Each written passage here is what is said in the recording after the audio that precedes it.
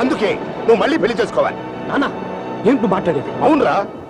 పిల్లల్ని కనివ్వలేని ఈ గొడ్రాలు నీకు పెళ్ళంగా నాకు కోడలుగా పరికి రాదు అంటున్నాను.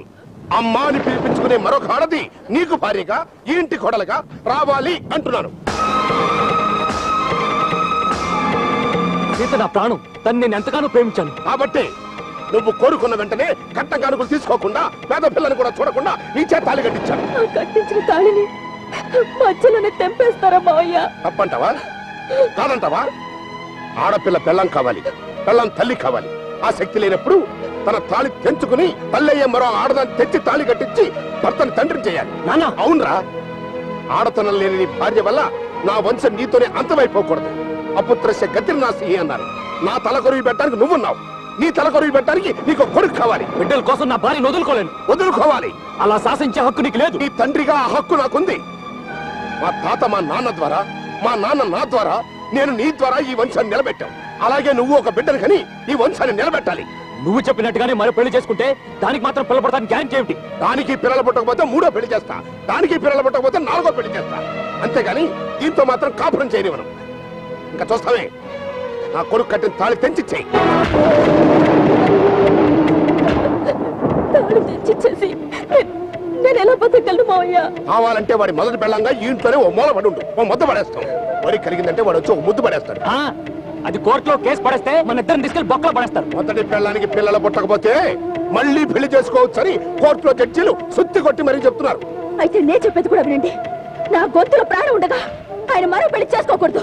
నా స్థానంలోకి ఇంకో ఆడది రాకూడదు. అయితే ఆ గొంతులో ప్రాణం తీసేసుకో. నువ్వు చచ్చాకే వాడికి మళ్ళీ పెళ్ళి చేస్తాను.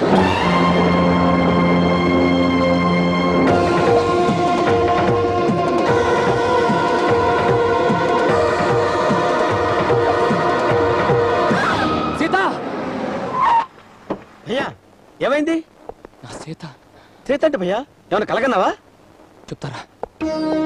Good morning sir good morning sir good morning sir good morning sir గోందం sir. ఒక గంట సేపు ఎవరిని లోపలికి రానివ్వదు అలాగే సార్ హలో డాక్టర్ అమరం గారు ఉన్నారా? నేను శ్రీరామ్ని. ఏం లేదు మీరు ఒకసారి మా ఆఫీస్కి రాగలరా? థ్యాంక్ యూ ఏంటి భయ్యా ఇంత కంగారుగా ఉన్నావు? పిల్లల గురించి. పుట్టరని చెప్పాడుగా మా బావ దరిద్రుడు. అదేరా నా బాధ. ఇప్పుడు ఈ సంగతి మా నాన్నకు తెలిస్తే సీతకు విడాకులు ఇచ్చి రెండో పెళ్ళి చేసుకోమంటాడు. సీతకు తెలిస్తే తను నాకు దక్కదు. అయితే ఏం చేద్దాం? ప్రాబ్లం నాలో ఉందని చెప్పండి. అలా చెప్తే సీత ఏ ఆగాయిత్యం చేసుకోదు మా నాన్న నాకు రెండో పెళ్ళి చేస్తాను అండు. అది ఇంకా డేంజర్ కదా భయ్యా. ఏ? ఏమంటావేంటి? నీకు పిల్లలు పుట్టరని తెలిస్తే మీ నాన్న గుండె అయిపోతుంది మీ ఆవిడ బెంగ పెట్టుకొని మంచం ఎక్కుతుంది. అది కరెక్టే. మరెలా? పోనీ గవర్నమెంట్ పాలసీలో ఓ పని చేస్తే? ఏదో కరెక్ట్గా చెప్పాడు.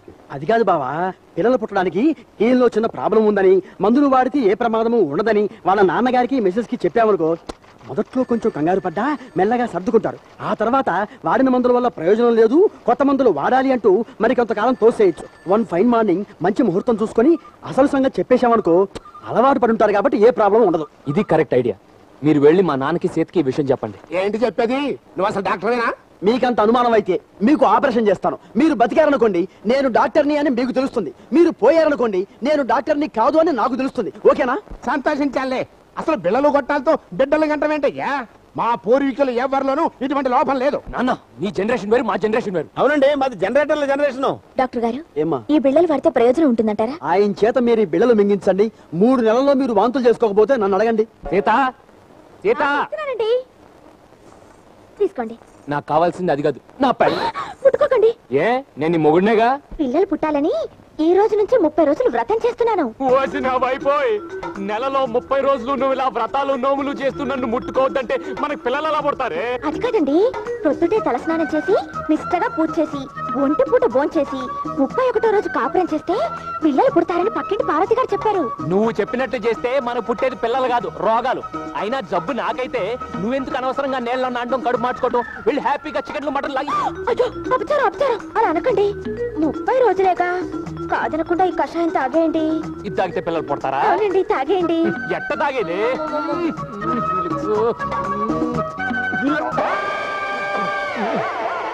అదేంటండి ఫేస్ అలా పెట్టారు?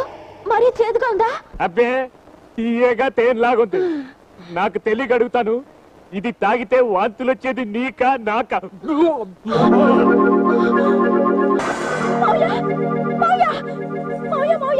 మీ అబ్బాయి వాంతులు చేసుకుంటున్నారు. ఆ! రేయ్, అబ్బాయి. కంగ్రాచులేషన్స్ రా కొడక. దేనికి? తొందరగా తాతం చేస్తున్నందుకు నీ పెళ్ళాన్ని తల్లిని చేస్తున్నందుకు. మాట్లాడితే మీనింగ్ ఉండాలి. ఆ దిక్కుమాల మంతా నేను మంత చేసుకుంటే దాని కడుపు ఎలా వస్తుంది? అది నిజమే. వీడి వాంతి చేసుకుంటే కోడలు కడుపు రావటం ఏంటి? ఏమిటో ఓవర్ ఎక్స్పెక్టేషన్. ఏం తెచ్చావు? అన్నీ తెచ్చాను గాని అమ్మా నాకు ఈ విషయం తెలిసింది. నిజమేనా? ఏంటది? అబ్బాయి గారికి నరాలికి నిసటుగా ఆ విషయం నీకెలా తెలుసు? నాకే కాదమ్మా. ఊరు ఊరంతా తెలిసిపోయింది. మీ మావయ్య గారు చెప్పారంట. ఈయనక్కడు ఏది దాచుకోడు. ఈబీసీకి తక్కువ ఈటీకి ఎక్కువ. నా పరువంతా తీసేస్తున్నాడు. మీరు కాబట్టి ఈ కట్టాన్ని దిగమింగి కాపురం చేయగలుగుతున్నారు. ఇంకొక ఆరదైతేనా? ఎవరినొకరు చూసుకొని లేసిపోయి ఉండేది. నువ్వు ఇక్కడికి వచ్చింది కూరలమ్మటానికి సొల్లు కబుర్లు చెప్పడానికి కాదు. వచ్చిన పని చూసుకొని వెళ్ళు. హ్మ్, నరాలికి నిసుంటే ఇట్టాగే కోపాలొత్తాయమ్మా. చూడు మీరందరూ అనుకుంటున్నట్టుగా పెద్ద లోపమే లేదు ఆయనకి.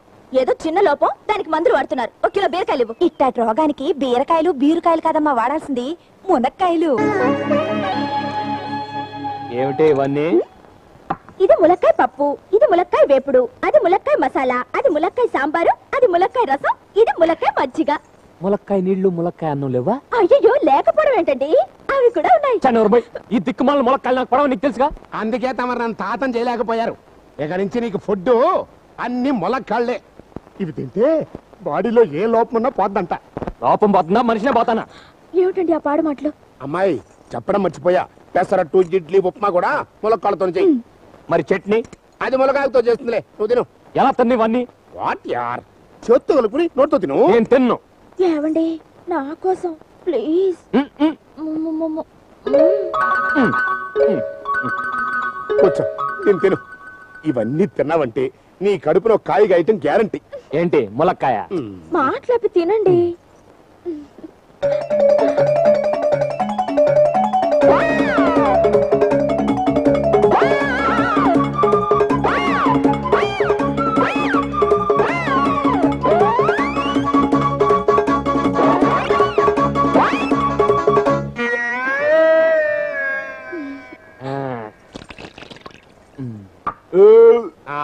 అమ్ము తుడుచుకో.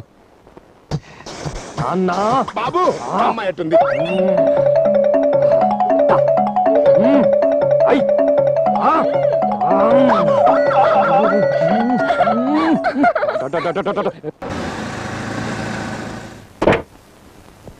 నమస్కారం అండి. నువ్వెవరు? కొత్త వాచ్ ఇవ్వనండి. వాచ్ ఉమ్మనా? ఆ సింగడ్ ఎక్కడ? ఆయన వీకేసి నన్ను వేసుకున్నారండి ఎవరు? బిగ్ బాస్ అండి. ఎవడా బిగ్ బాస్? తెల్లండి రాత్రి ఫోన్లో మాట్లాడారండి. నిన్ను వాచ్ ఉమ్మన్గా బుక్ చేయటం Gopal Gopal Gopal. Hi దండాలండి. Hello head sir. Hi hello నమస్కారం అండి. Oh my god I'm sorry అదేంటి సార్? అప్పుడు వెళ్ళిపోతున్నారు. ఇది మా ఆఫీస్ అనుకుని వచ్చాను. ఇది మీ ఆఫీసా సార్? మా ఆఫీసా? మరి మీరంతా ఎవరు? మీ స్టాఫ్ సార్? మా స్టాఫా? మా స్టాఫ్ అంతా మొగాడు కదా? వాళ్ళని తీసేసి మమ్మల్ని పెట్టారు సార్. ఎవరు పెట్టారు? Big boss. ఎవడా బిగ్ బాస్? తెల్దండి నైట్ ఫోన్లో ఫిక్స్ చేశారు. నైట్ ఫోన్లో ఫిక్స్ చేశాడా? నైట్ ఫోన్లో రే గోపాలం. గోపాలం. ఆయ్. నువ్వెవరు? గోపాలం ప్లేస్లో వచ్చిన గోయిందమనండి నిన్ను కూడా బిగ్ బాస్ పెట్టాడా? Hi manager manager. Big boss big boss. ఎవడా బిగ్ బాస్ గడు? నేను నీ అమ్మ మొగుణ్ణి. అయితే మాత్రం నా పర్మిషన్ లేకుండా వీళ్ళంతా ఆఫ్టర్ ఆల్ ఎండి గడివి. నీ బోడి పర్మిషన్ ఎవరు కావాలరా?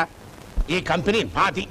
దీనికి నేను సోల్ ప్రొపరేటర్ని నేను చెప్పినట్టుగా పడుండకపోతే నిన్ను కూడా పీకేసే అధికారం నాకుంది. అయినా మొగాళ్ళని తీసేసి ఆడాళ్ళని ఎందుకు పెట్టినట్టు? సిన్సియర్గా పనిచేస్తారని. చూడు అందరూ ఎంత సలక్షణంగా చక్కగా ఉన్నారో.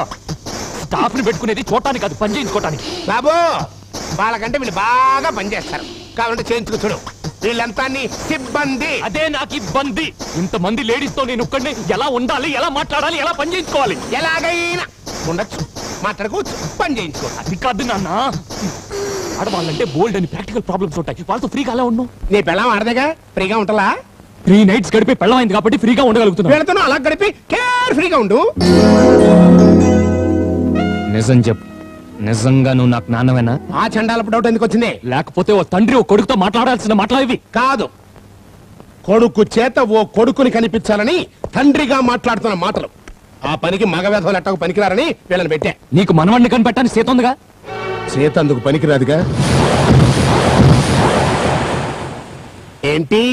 ఫాదర్ డెడ్ స్టార్ట్ ఇమీడియట్లీ అన్న టెలిగ్రామ్ చూసినట్టు ఫేస్ ఎట్ట పెట్టావు? ఈ నిజం నాకెట్ట తెలిసిందేనా? డాక్టర్ని రెండు బేకపోతే నిజం మొత్తం కక్కాడు పెళ్ళాం మీద నీకు ఎంత ప్రేమున్నా ఆ ప్రేమకి పిల్లలు పుట్టరు. అంచేత వీళ్ళల్లో ఒకరిని సెకండ్ సెటప్గా సెలెక్ట్ చేసుకో నన్ను తాతం చేసుకో. అంటే సీతకు అన్యాయం చేయమంటావా? నాకు న్యాయం చేయమంటున్నాను. సీతకు విడాకులు ఇమ్మని నేను అన్నాం తనని ఇల్లాలుగానే ఉంచుకుని వీళ్ళలో ఒకరిని ప్రియురాలుగా చేసుకుని నాకు ఒక బుడతాన్ని కనిపెట్టు. చస్తే నేను పని చేయను. చచ్చాక చేసేదేముంది? దినం బతికుండగానే నీతో టూ టౌన్ పెట్టిస్తా నిన్ను తండ్రిని చేస్తా.